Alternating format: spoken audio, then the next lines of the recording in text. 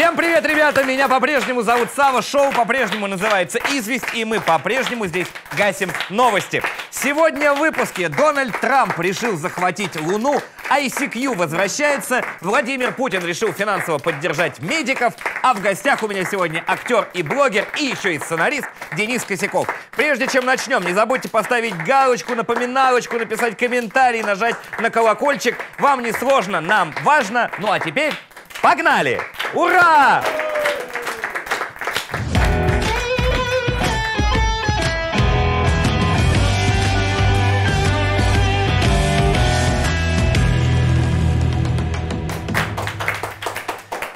Вам, олдфаги, Mail.ru вернули народу мессенджер ICQ. Ура, ура, ура! Mail.ru Group перезапустила мессенджер ICQ. Немало интересного появилось в Ваське.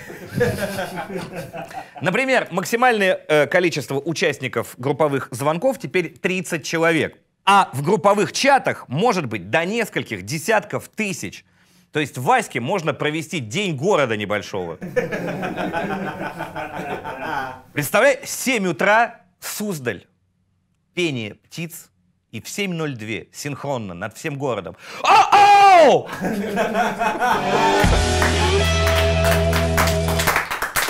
Спасибо, друзья, спасибо. Гамутиные истории. Авторы утиных историй представили своих первых гомосексуальных персонажей.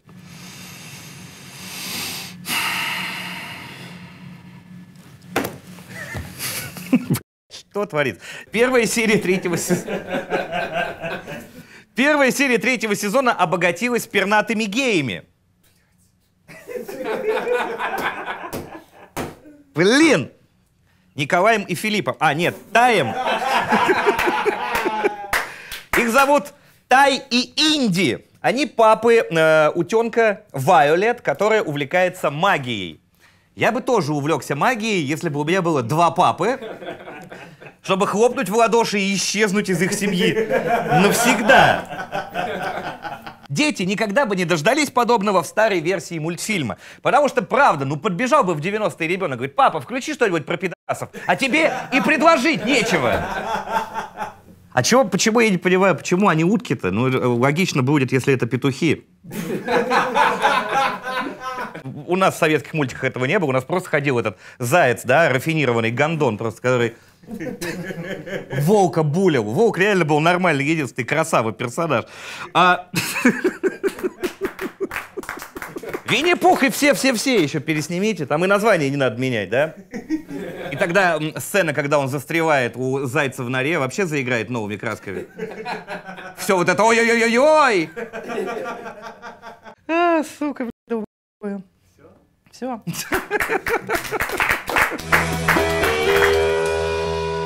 Третье высшее скачать бесплатно без регистрации. В списке социально значимых ресурсов, составленном Минкомсвязи, неведомым образом на 262 позиции оказался сайт научные статьи.ру, который за денежку пишет, ну, либо сам где-то скачивает тебе научные работы, диссертации и кандидатские. Люди остаются без образования из-за того, что сайт этот, скорее всего, удалят из списка важных. Хотя тут тоже надо сгруппировать, на самом деле, отдельный портал, тоже социально важный. Пускай там продаются э, точные реплики швейцарских часов, научные работы, э, лимитированные кроссовки по 3800 рублей, оригинал, не подделка, все проверки. Но есть еще отдельный список система образующих компаний России, в который вошла букмекерская контора Фонбет – Господа, давайте э, делать ставки, кто еще войдет э, в список системообразующих компаний. BBC на эту тему побеседовала с одним из чиновников Минфина, и он говорит, вообще не знаю, что это и как попало. Говорит, я попросил исключить, потому что у меня э, не залетел тотал с коэффициентом 1 к 20. Ура! О, какие мощные аплодисменты! И все они посвящены нудистам. В Чехии полицейские заявились на нудистский пляж и потребовали от голеньких отдыхающих надеть хотя бы маски. Власти чешского курортного города Лазне-Богданич, по-русски это гусь хрустальный, а, предупредили нудистов, что нехрен ходить голым для начала, светить своими чешскими колбасками. А пришли, говорят, ребята, вы не соблюдаете элементарные правила безопасности. Наденьте хотя бы маску, они говорят. Ребят, не надо. Это ограничение прав нудистов. Ну, потому что это уже не нудист, когда на тебе что-то надето. Что это за на полмасочки такие меры? А может, я вообще шел э, туда ради того, чтобы свой шикарный нос людям показать? Если вы когда-либо бывали на нудистском пляже, вряд ли вы видели там прям красивых, подтянутых молодых людей. Туда люди приходят как раз потрясти своим внешним видом. Я знаю, о чем говорю. Я пару недель просидел с телевиком на дереве, пофоткал. Ни одного приличного тела я там не увидел, ни мужского, ни, ни женского. Поэтому напяливай джинсы, надевай маску, дорогой чех, и иди глуши Велкопоповецкая.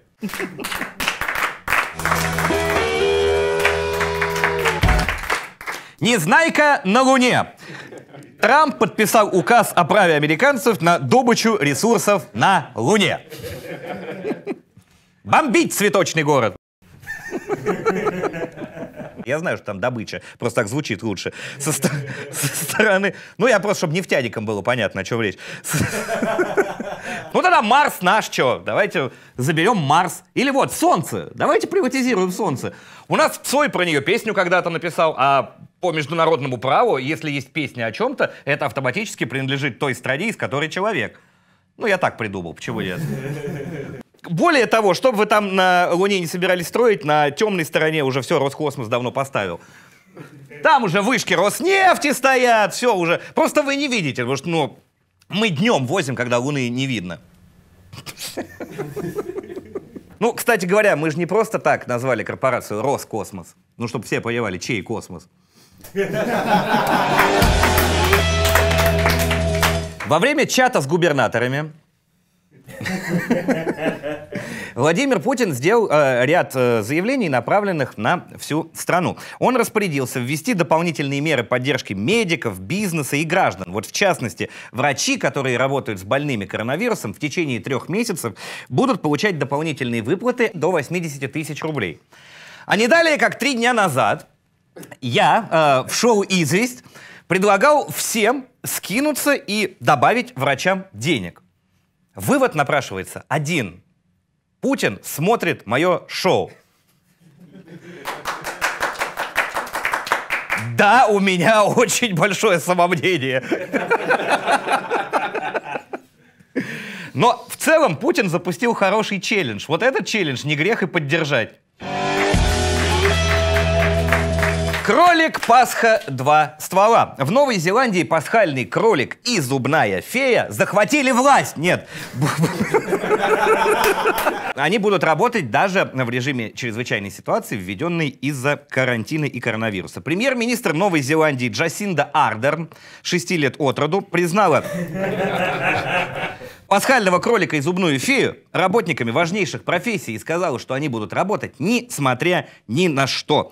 Если пасхальный кролик не сможет добраться до вашего дома, дорогие дети, сказала она, значит все. А нет, мы должны понимать, что кролику сложно успевать везде. Мы знаем физиологию кроликов. Они быстрые, не ври. Это еще хорошо, что Санта-Клаус все прочухал заранее, в январе отработал и до декабря свалил.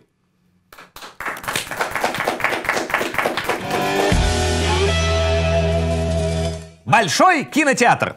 11 апреля в эфире телеканала «Россия-1» состоится беспрецедентный творческий марафон под названием «Мы вместе». Многие известные артисты объединяются, выражают общую солидарность э, и выражают этим выступлением, этим концертом благодарность тем, кто в это непростое время рискует своим здоровьем, выполняет профессиональный долг. Короче, и для врачей, и для всех, кто вынужденно сейчас сидит дома. Во всех ситуациях надо искать свои плюсы. И в том, что люди вынужденно самоизолировались и сидят по домам, они тоже есть. Потому что очень много людей открыли в себе творческие способности, вспомнили о своих хобби, о том, что они любят, чем им нравится заниматься, и вывалили на нас такое количество качественного контента, что, возможно, когда эпидемия спадет и снова можно будет ходить по концертам, на афишах мы увидим совершенно другие имена.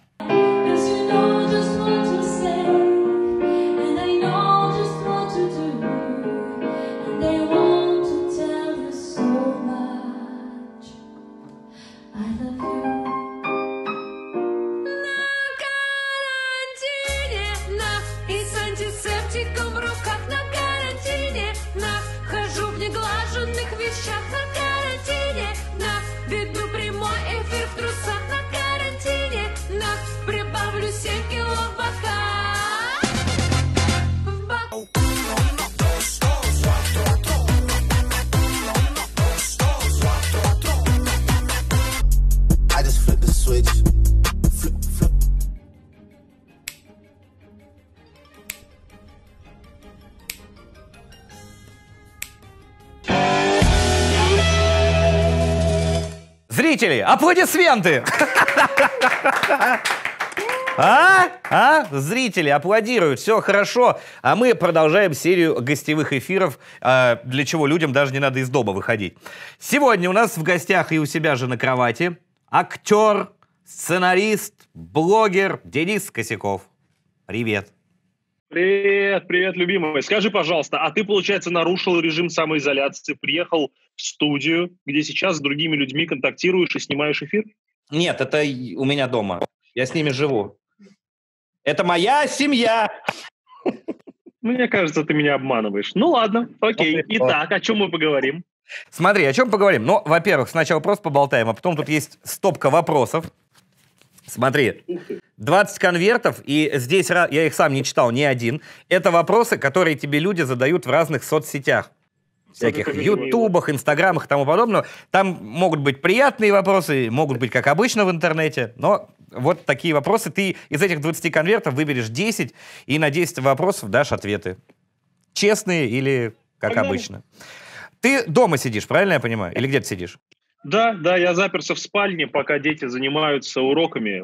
Вот решил пообщаться. Ты же их вы вывозил вот недавно совсем, да, и вы после этого самоизолировались.